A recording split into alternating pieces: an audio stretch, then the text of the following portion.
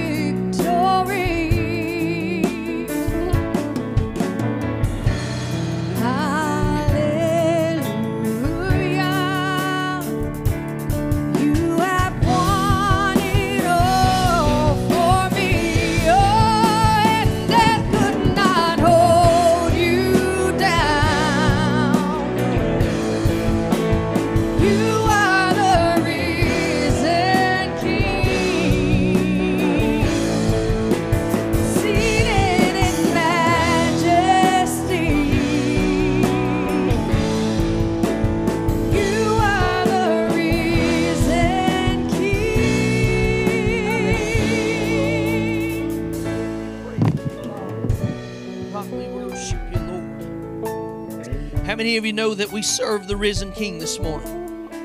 Seated on his throne right now, looking down on us.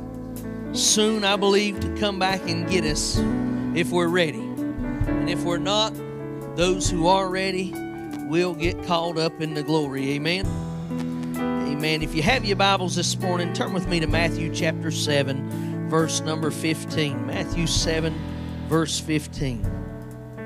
I want to remind you of our 11 o'clock service. We will be having a mission service, missional service, I guess you would say. Uh, we have a very, uh, very special presentation just before we start service. Um, I want you to be here for. Uh, Aiden will be reciting his books of the Bible at the 11 o'clock service, so come and support Aiden. I know that he'll be excited for that, for you to be here. But I'm looking forward to what God is doing and how God is moving. I just want to share with you a little bit of discipleship this morning. Matthew chapter 7, verse number 15. If you have it, say amen. Amen. Beware of false prophets who come to you in sheep's clothing, but inwardly are raging wolves. I want to ask you if you would, would you just stretch your hand this way this morning and ask God's anointing over the word? Father God, Lord, I come before you once again this morning, Father, and I ask you, Lord, that you would touch and move in a mighty way, God. God, we praise you, Father, for all that you've done. Lord, all that you're doing, God, we ask you, Lord, that you would just minister in this place this morning, God, touching hearts and lives. Father, I pray, Lord, that you would pour out, God. God, let someone here, Lord, be changed, God. God, we pray, Father, that you would just minister through us, Lord, using us, God, God, and anointing us. Father, we'll give you the praise, the glory, and the honor for it all. In Jesus' wonderful name, we ask it, believe it, and receive it. Amen. You may be seated this morning. I want to read to you that verse one more time before I get started. Beware of false prophets who come to you in sheep's clothing, but inwardly are ravaging wolves. So, inwardly means who they really are. Uh, they, they say that they're one thing, but they're really another. They turn out to be something else. There's a danger in aligning yourself with someone who is not who they say they are. Is that okay? That's something that we teach our children from the time that they're old enough to walk and they start school. We start telling them, be careful who you hang out with. I remember uh, a little saying, you hang around trash long enough, you'll begin to stink too. Yeah, y'all ever heard that? Uh, a sheep, uh, excuse me, birds of a feather flock together. We've heard all these kind of things, but yet there's a point in our life as a Christian that we begin to think that it is okay to do whatever we want to do as long as it's in the name of God. I can hang out with who I want to hang out. I can do with what I want to do because I'm a child of God. Jesus did it, so therefore he set the example. I can do it too. I've come to tell you this morning that you better be careful who you hang out with. You better watch out who you associate yourself with and be careful because you know what? Even though Jesus did it, doesn't mean that you're Jesus. Amen? He set the example of how we should do and what we should do, but He didn't tell us that all things He did that we should do also. Uh, if we look at Jesus' life, we know that Jesus was without fault. He had no sin. Jesus was perfect, right? And therefore, if any of us can say the same thing, then that would make us equal with Jesus. You're perfect this morning. I want you to come up here. We want to give you a round of applause. Praise God. None are like Jesus. Amen. So we understand that there is a danger in aligning yourself with people who, especially people who say they're one thing and are not those things if we're not careful, whenever we begin to, to associate not just going and having supper with a sinner from time to time, I'm talking about whenever you link yourself with somebody who pretends to be one thing and is really another thing, it is just a matter of time before it can begin to wear off on you and you become something different as well. We're talking about sheep this morning. We're talking about prophets who pretend to be a prophet but are really a, a tool of the devil. Y'all know that existed? People who stand behind the pulpit and preach the gospel and claim to be one thing, but yet they live a lie of the devil and are something completely different. That exists. But you've got to have a discernment of the Spirit to know the difference. Whenever you just hang out with whoever and whatever and you don't care because of a name associated with them, if you're not careful, you'll find out real quick that, you know what, I am in deep now and I can't get out. I don't know what to do because they overtake your thoughts and your mind. Jesus said, Watch out for these people because they're really something far different than who they appear to be. Understand that sheep are harmless. They don't prey on other animals, they eat grass and not meat. A wolf, on the other hand, is something that kills and eats whatever it can, whenever it can. The wolf is obviously something that is very dangerous. You can be injured quickly if you hang around people who appear to be one thing but turn out to be different. Jesus told us that some people who appear to be very religious, watch out for them. They look like they're one of the sheep, they dress the part, they look the part, they even may sound like sheep.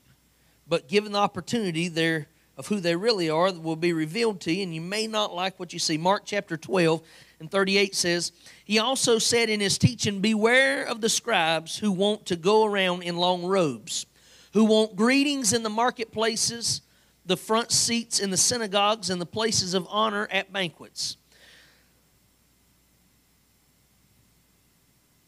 Now, what Mark's talking about right here, what's going on in Mark chapter 12, is he was saying, watch out for people who go around beating their chest, so to speak, saying, hey, I am somebody in this religious world. And look at me, look at what I have done. Y'all ever seen anybody like that? And we see it happen and we see it take place, and sometimes we even fall into the traps. Wow, this person said this and this person said that. They're amazing. They're, they're such a, a child of God. They're just all there. But unless you have begun to pray and seek God for discernment of the Spirit, if you're not careful, you'll, you'll completely lose every bit of knowledge that you ever had because you'll begin to believe a lie of the devil and be damned to hell. Is it their fault that you went to hell? If you haven't been praying and seeking God, don't put your salvation in somebody else's hands. Know it for yourself. That's why we have to continually seek and study. Follow up on what I'm telling you or anybody else who stands in this pulpit tells you and make sure what they're saying is of God. If there's no meat from the Word of God, and they get up here and they exhort you and they spout scriptures that they say it so quick you're not sure what they said, be careful of anybody who stands. I'm not just talking about this pulpit and this podium. I'm talking about anybody who you listen to that claims to be a man or a woman of God. Back it up, check it, make sure it's fact. Heard somebody just say yesterday, they was listening to a thing and said that Revelations was all wrong careful what you hear and what you let go into your ears. If you'll listen to that mess, why don't you listen to the rest of the Bible and get saved and sanctified, filled with the Holy Ghost, and turn your life around and not be a sinner anymore? When you read the Gospels, you'll find a common thread with Jesus. He does not like people who say they're one thing, but they're actually somebody else. He don't like that. That makes him mad. That gets him upset. He begins to, to sometimes get a little bit of a, of a rampage himself, and he'll even walk up into the church house and flip over a few tables and get a whip and drive everybody out because it makes him mad. He don't like people like that when you read the gospels we see that he he don't like people who say they're one thing but they're actually something else jesus didn't like people who put on a facade Actually, in my notes, I said he put on a mask. They, they put on a mask. I thought, ooh, that's not the best word for that there. Jesus don't like people who tries to pretend to be something to cover up who they really are. He wants some genuine people who say that I am what I say I am. I'm going to serve God the same way at home in my closet as I'll serve God in a church house. God wants people who's going to serve him with all they've got, not people who get dressed up, fancied up, come sit on the front row of the church and begin to say, "Oh, but I'm a child of God" and get the attention of the people. God wants people who are going to serve Him wholeheartedly with everything that they have. And here's why Because people who wear a fake facade create confusion in the church. And God is not the author of confusion. Therefore, if we're coming into the church and saying one thing inside the church and living another way outside of the church, it creates confusion and chaos. And people begin to go on these places where they're not sure. You know what? Oh, so and so said this. And I'm seeing this from a lot of pastors. And, and oh, so and so did this. But, but you know what? The, the church people are doing that. I'm confused and don't know what to do. I think I'll go back to my old ways. It's not Jesus' plan at all. He came to bring understanding to us.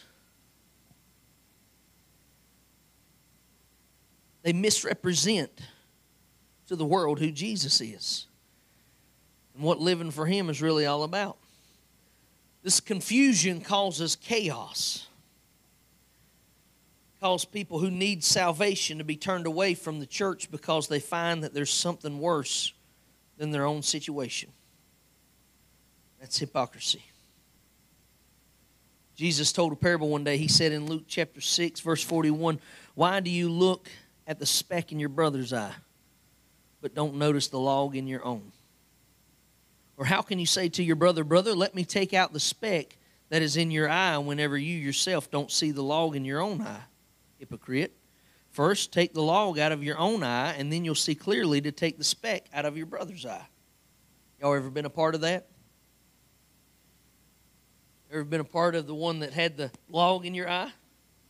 Amen, I have. I have. There's been times in my life whenever I've seen somebody else's problem and I overlooked my own. We've done that before, if we're honest. We begin to say, you know what? What they need is this. What I need is none of nobody else's business because it's between me and God. Right?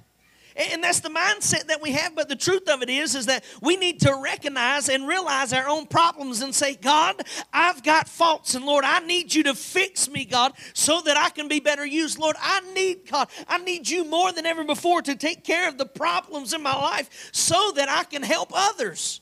So that I can help others. But sometimes sometimes we need to first realize that I can't help them if I can't help myself. I can't help myself. I need God. So, wouldn't it be better if instead of I tried to help with their situation and figure out all their problems, first I let God take care of all of mine, and then in the process I share with them what worked for me?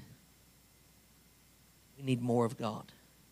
We need to grow and understand and be discipled and trained so that we can go into the rest of the world. The uttermost parts of the world is what one, one version says go into the uttermost and see that, that they're discipled and trained as well. That we take the gospel here and we learn it the best we can, and then we go and we take it to them so that they might be saved also.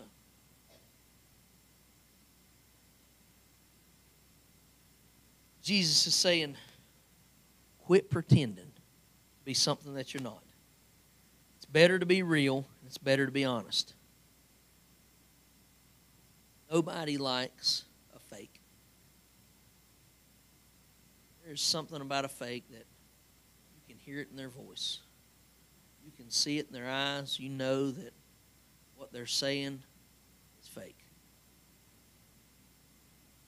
Talked about it a lot. But you know, whenever somebody tells you, I love you, you just cringe. I refuse to say it back if I didn't feel it. Even if I love them back, I ain't saying it. I'm going to hold on to it. Yep, good deal. Fist bump. Shake a hand. Nod a head. I am not saying it back. Forget it. Because you felt that it was fake, right? There's something about whenever someone tells you that they love you and you know that it's fake, it sort of sort of hurts your feelings. Breaks your heart. Why, why did you just lie to me? I can tell. I love how you can see child's heart through their eyes. Sometimes it breaks your heart, especially as a pastor.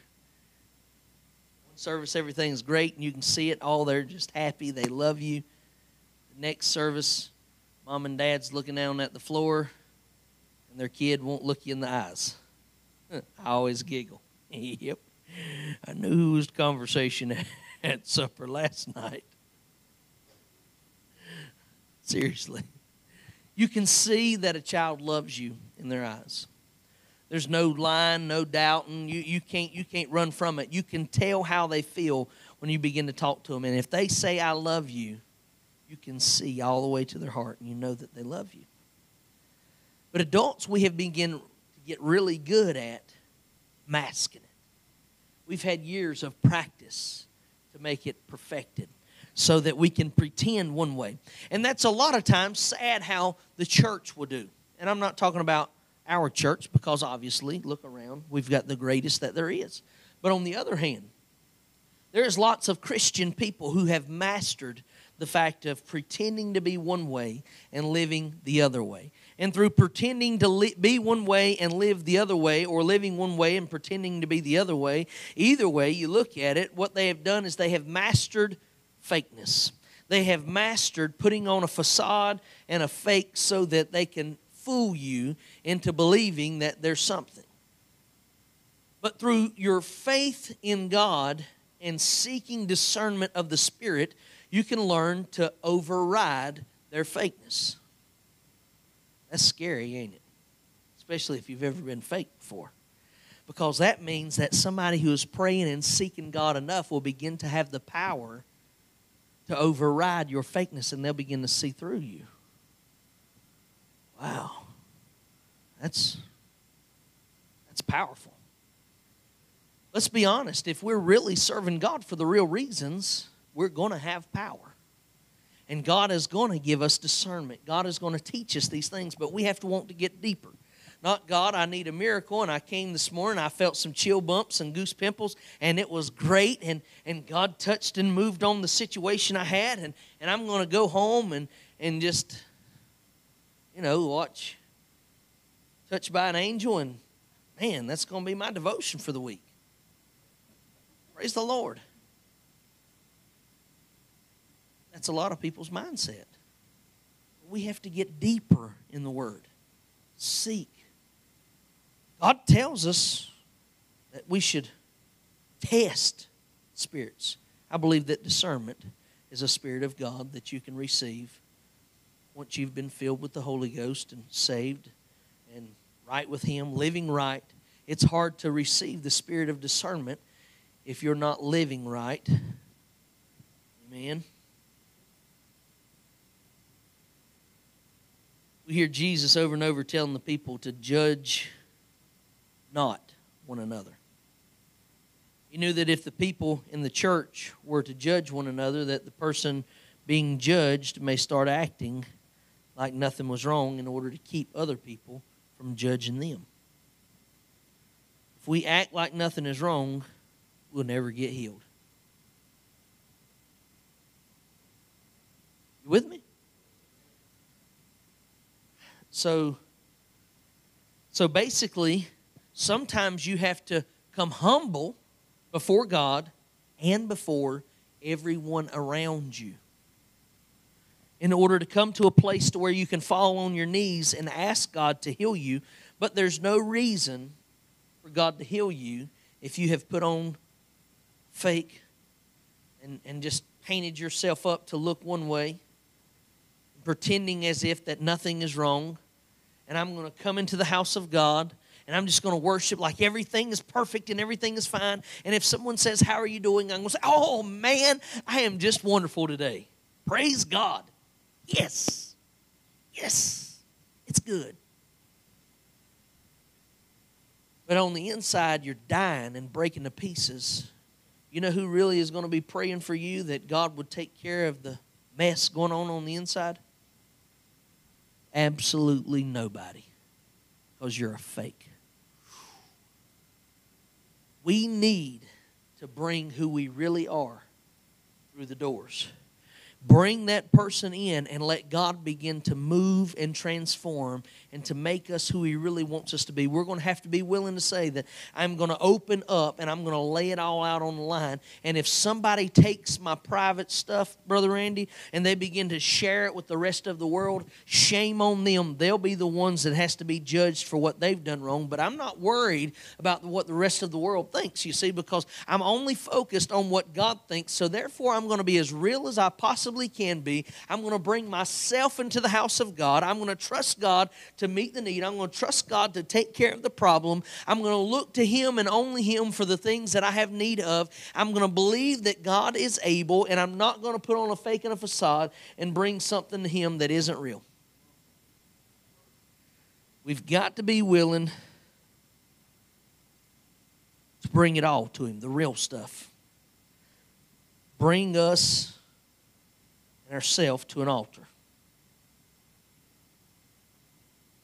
Me one second.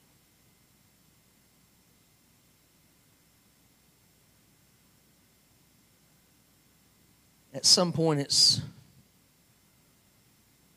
time to quit being fake.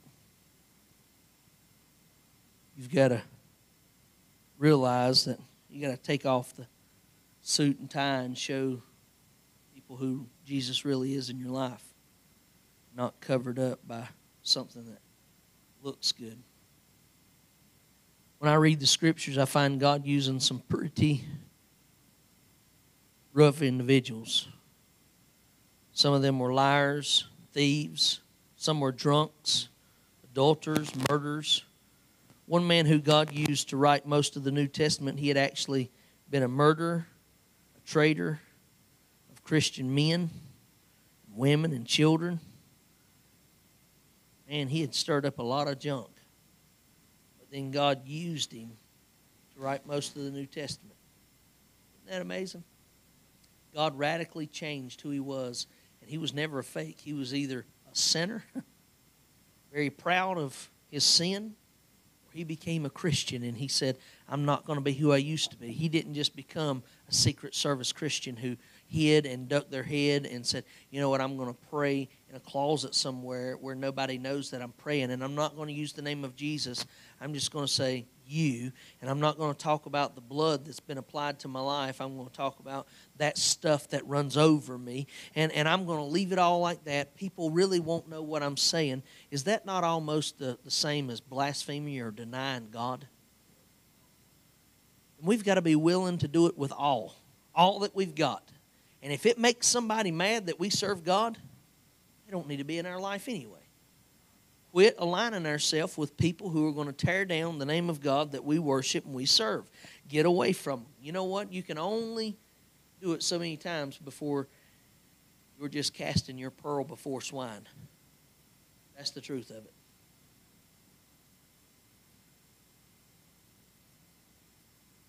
In the day that Saul had come to know God, That was where he took off a facade of religious pity. God said, Now I can use him. See, at some point, we've got to take off what we're hiding Jesus behind. Maybe it's not a suit and tie for you, but maybe it's your pride or your pain, your prosperity, your education. At some point, it's time to take off the mask, hide you. Let the Holy Spirit heal you and clean you up so that you can show your family and your neighbors who Jesus really is. I want to be real. That's what we're about here at Real Life. Real people serving a real God.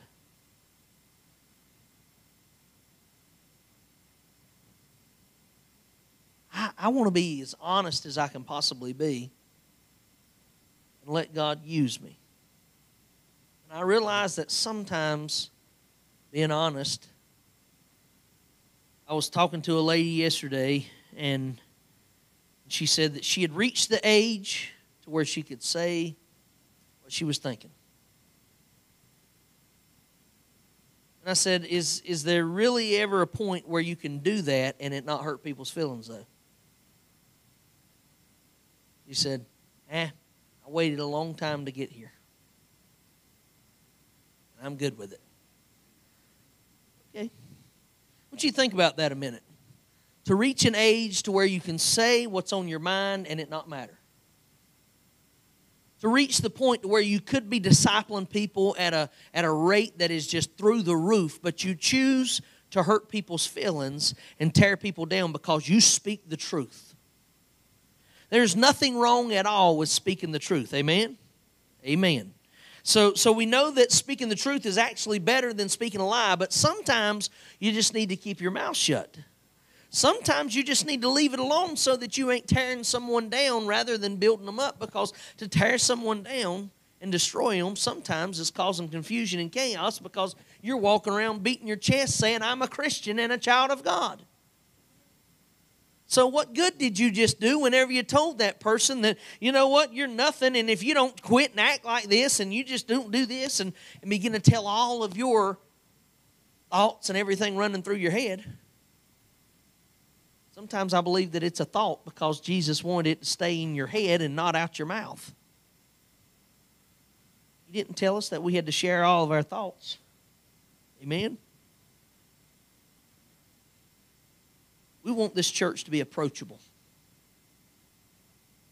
That's why we're real people serving a real God, having a real life and a real walk with Him. But the moment that the rest of the world begins to be holier than thou, no longer is it real. It becomes fake.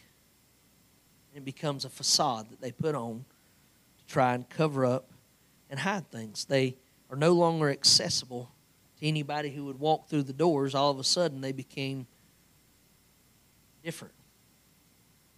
I'm not one of the in crowd that's in the four walls. I'm part of the world, and whenever I walked in the church, they let me know. They looked me up and down with their eyeballs. They walked away shaking their head because I wasn't dressed the part or didn't look how I should look be in their church. Praise God. We're not that church. But I pray that God would let us not be that church outside of the church either that God would use us to reach out to a lost and dying world and show them love in Jesus and who Jesus is. Jesus mentioned the scribes in their long clothing. They loved to dress up and put on an image of religion. They thought what they wore made them holy. They thought how they looked told people who they were. Inwardly, Jesus said, they devour widows' houses. But outwardly, they pretend they pretended to represent the kingdom of God. That's what I love about Jesus. I don't have to put on a mask in order to be loved by Him. I can be myself, and He loves me just as I am. I don't have to worry about how I come to Him. You know, um, I believe that the way that a lot of mothers take their kids to school in the car rider line, Jesus loves them that way just as much as He does the way that they dress up to go to work. In other words, He'll love us without the makeup and without our hair done just as much as He will the same way that we look whenever we roll out of the bed in the morning. And, and, and He'll love us the same way if we are fixed up. He loves us for who's on the inside. He doesn't care about what we look like or the way that we dress, the way that we. He does care about the way that we act and the way that we talk, though. But He wants us to be real sometimes we've got to let Jesus change who we are. See, because who we are is, is sometimes a mess. Sometimes who we are is a, is a jacked up mess so bad that, you know what, we don't want to be used by God in that situation anymore. We want to be changed. So if we look at Paul, Paul was a jacked up mess, and Paul, who he was as Saul, he, he, couldn't be used in that state, but God changed him, and immediately he transformed, and he knew that no longer would I be the old man, but now I'm going to be the new man. No longer will I be the person I used to be, but now I'm going to be a new person in Christ Jesus. He went from one extreme to the other extreme. The Word of God says those that praise much have been forgiven of much in a sense. Is that right? And, so we see that, you know what, sometimes it takes a radical change in people's life, but sometimes people haven't really been through a lot. I haven't really been through a lot. I look at my life and say, man, I have really made some mistakes and I've been through a lot. But the truth of it is, is that, Brother Randy, I've been in church my whole entire life. I, while I was growing up, I think the only time I ever missed church was, was uh, can't think of any. What, what about when you're sick, Pastor? Hadn't really been sick but a few times in my life, but even whenever I was sick, uh, my mom and daddy believed in that little bit of scripture. It said, whenever there's one sick among you, bring them to the, the elders of the church and lay hands on them, anoint them, pray for them, that sick be saved. They wasn't skipping for nothing. So, therefore, there's a lot of things in life that I knew how to get out of. I knew that prayer worked. I knew that God could change a lot of things. So I can't say that I've been in the place of a lot of other people, but I realize, Nolan, I'm not who I used to be, that God has made me somebody different. And it is time that we go with all that we've got and say, I'm not going to pretend to be something that I'm not. I'm going to let God change me, and God can change me on a daily basis. I'm going to become who He wants me to be. That's what I love about Jesus. That's why I love Him. You don't have to be somebody or act different than you are to be accepted by Him. You don't have to put on a facade. You just have to be real, be honest. See, if we're not real, we'll never reach people with love of Jesus because they'll see through it. Can't wear pride show people Jesus. You have to, you have to love them being a humble person with a humble heart. Realizing that Jesus was a servant, so what makes you any different? God is looking for people who be real, not be proud, have their pride too big. You something else too. You can't you can't put on a facade that looks like Jesus and pretends to represent him if you really don't love Him and, and want to be like Him. I'll tell you why because people's needs are too great. A false image of God can't heal the brokenhearted. People don't really get saved under the power of a false prophet. They never change healing don't take place under the power of a false prophet.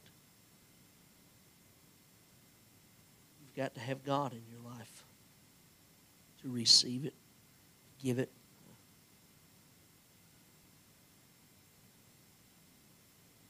I've realized that I have won more people to God than living for God than if I wasn't living for God. Truth of it is that I've never won a single person to God while I lived in the world. While I didn't give it all to God, there wasn't one person that came to know God under anything that I had to say. But the only way that we'll ever see anybody come to God is because we have lived God in front of them. The greatest testimony you'll ever have is the way you live your life on a day to day basis. It isn't the, the story that you told in a church service or the one thing that, that set you apart and made you different. It is the way that you live day in and day out that makes you somebody. And if you've decided that this is who I am and you've accepted a certain thing in your life and you've said this is this is the way it will always be, and that's why I am the way that I am, and that's why I am who I am, it doesn't represent God, you won't see people come to know God. God has called us to be disciples. If God has called us to share the gospel, how in the world are we going to do it if we want to continue to be who we was while we was in the world? It's important to be real. It's okay to be common. It's okay to be authentic. It's okay to take off the mask. It's okay to be someone who people can relate to. Because if they can't relate to us, how will they hear us when we tell them about our God?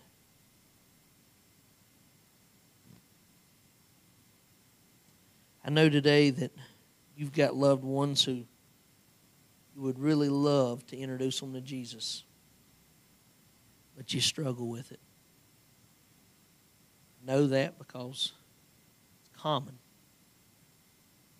I'm in the same place. There's some that I would love to tell about Jesus, but part of them are stuck in the past. Some don't want to hear it. Some, honest, we've been too scared to share it.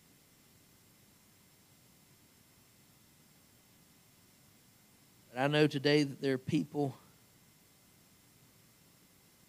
that need it. People in our family that need need God. You would love to see them come to church. It hadn't happened yet. People around us need to feel what we've experienced. When we come together on a Sunday morning like this and, and, and we're with one another and we're just sharing before church, God God blesses and moves and, and the, the family atmosphere we have. There's, there's people who need that. They need to be loved by somebody. Everybody has a family, but whether or not their family is a family or not is a different story.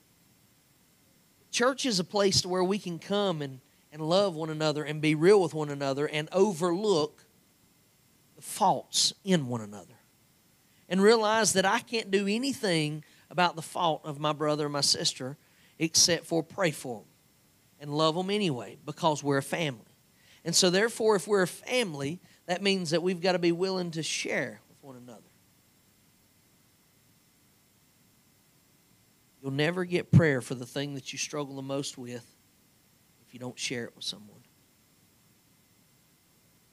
As long as you keep it hid, and you pretend like it's not there, nobody will ever know. They'll never pray for it. I know that you don't have to share everything in life.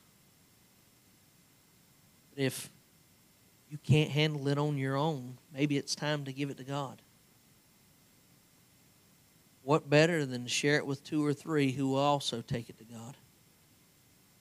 The Word of God tells us where two or three gather. I've thought about the having one mind in one accord, and how if if we've all thinking the same thoughts and we're together, there was this place where the, the people all came together and they decided to build a tower to get to heaven. God looked down and said, "I."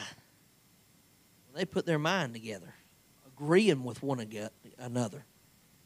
They can do anything. I'll scatter them, confuse their language, and send them to different parts of the earth. He named that place Babylon, and he babbled them. I realize that if we come together, we can really do something. God made us that way. I want to reach heaven. I want my family to be saved. I wonder if this morning you would consider spending a little time this week with somebody that you know, love, invite them to be your guest here next week. I've done what I thought possible. I, have tried to motivate, I've tried to do a lot of things, but I realize that sometimes, you know what? We can we can put an excuse on anything. We're scared. Oh, we've asked everybody we know. Have you? Invite your family. Spend a little time with them, though, because if you don't spend time with them and you just send out texts, what I also realize is it's just a text. They're just doing something. Uh, you know what? They're, yeah, I've been invited to church plenty of times. I'm not coming this week neither, but it's when you spend time with them, they begin to see your heart. And if they can see your heart, and then you invite them, it's not just about inviting them to church. If they say, Well, I don't want to go to that church, where would you go to church this Sunday at? Pastor, are you saying that I could go to another church? Absolutely.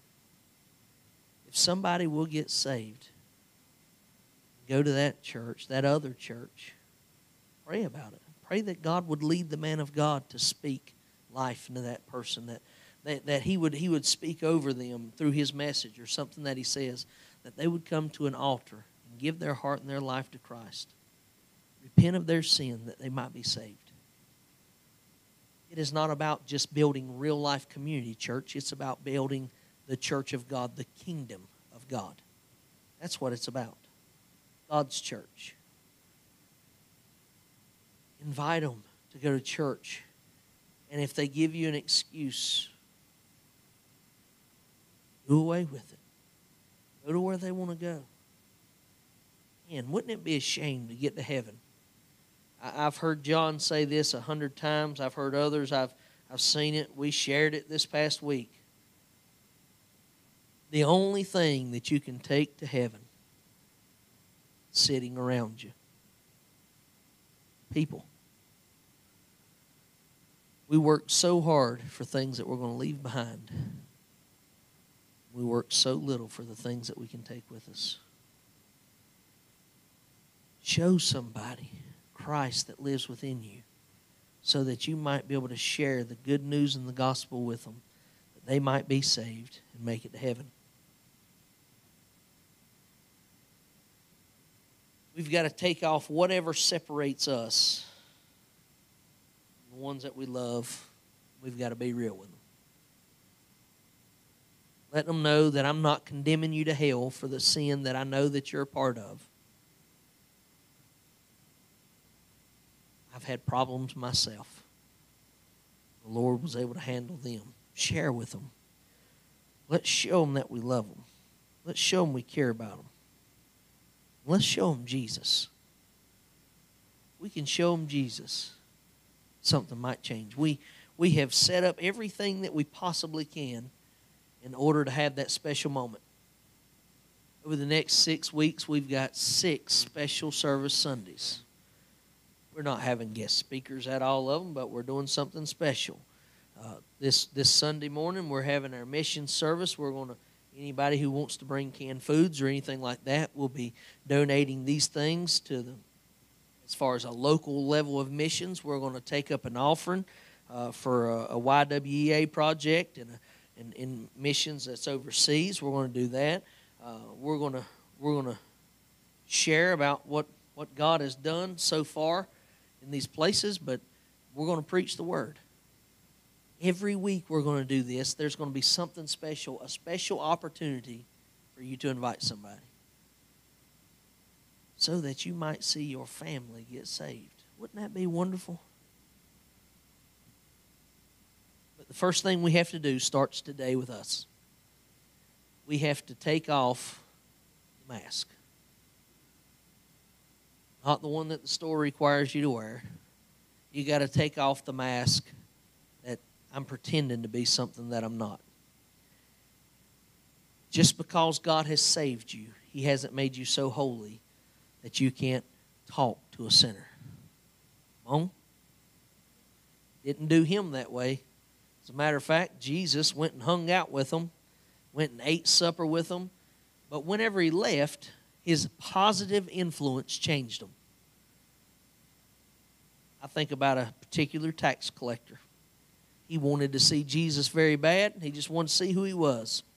Whenever he saw him, Jesus called him out, told him, Come on down. He, he stretched out. He went out as far as he possibly could. He stuck his neck out, so to speak, climbed out on a limb so that he could see Jesus. And Jesus called him out, said, Come on, I want to go to your house today. He went to his house, and, and people was mad. They was upset. They wondered why in the world Jesus was going to eat with this sinner, eat with this man. But he went and he ate with him, and whenever it was all said and done, he turned around and he blessed anybody who he had ever done wrong. He gave them more than he had took, and he done right by what he was supposed to do. Jesus made an influence on his life. you can make an influence, you can make an impact on other people's life through your influence and how that you live the Word of God before them. Some people, the only Bible they'll ever read is you. So seek God that God would have you to share with them what you need to share. I want to ask if you would stand this morning. I want to pray for you that God would help you to take off anything that would separate you from Him, that others might see Him in you. If there's anything that you need loose of this morning, I believe that we've got such a great church that they'll come get behind you and they'll pray and seek God with you. That God would move on you in such a way that the old could be removed, cast away, that the new could shine. Father God, we come before you this morning, Lord, and we ask you that you would touch and move in a mighty way on each and every life that's here, God. God, I pray that you would just flow through us, Lord, touching our lives, God. God, that we would be a representation that you would be proud of, God. God, that we wouldn't be one that is slack concerning your will, Father, but we would do whatever it takes, God, to show the world you inside of us. God, I pray, Lord, that we wouldn't be ashamed of the gospel that we wouldn't be ashamed of you, Father, because you have said if we're ashamed of you here, you'll be ashamed of us whenever we make it to heaven. Father, I don't want to hear you say, Depart from me. But Lord, I want to I want to see you look at me and say, "Well done, thou good and faithful servant." Father, I want to share you with my family. I want to share you with my friends. I want to share you, God, with people that I come in contact with. Lord, I praise you for that, God. God, I know, Lord, that you've put this on my life, God. You've put a calling on my life to talk to others, God. God, to disciple them, Lord, to share with them the good news and how God has been so great to me. I know that you've given me that, God. God, and I pray, Father, that you would help me, Lord, relay the message to everyone that I can, God. God, that we would be your disciple. Father, I praise you, Lord. And I pray that you would touch your people, God. Let us be used by you, Father. In Jesus' name, I give you the praise, the glory, and the honor for it all. In your name I pray. Amen. We want to pray before we dismiss the Sunday school as well. Let's pray that God would just touch our teachers, that God would touch all of us that are sitting, listening, that God would just anoint our ears to understand the Word. God has laid discipleship on my heart so heavy this year I believe that we need to learn as much as we possibly can. I've heard a story of a lady that was in a Bible study, and as she was in this Bible study in China, they only had very few pieces of Bibles, and they was reading from it. This one lady give hers to someone else who didn't have one, and as he began to read, as the instructor he began to read, he noticed that this lady she quoted every single word. Afterwards, he went to her, and he said, "I noticed that you." You knew every word that we read. You quoted it right along with me. She said, I have hidden the word in my heart that it wouldn't be took from me.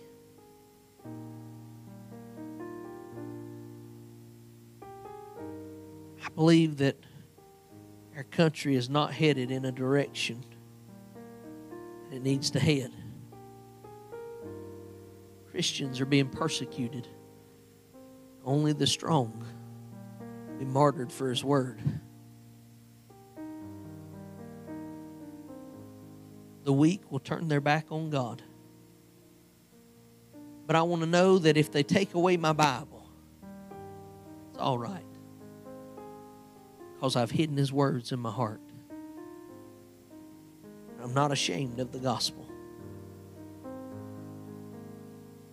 I pray that you would learn in Sunday school and that it would be more than just filler between services. Be more than about a biscuit or a donut and a cup of coffee, that it would be about learning, becoming closer to God. Amen? Amen.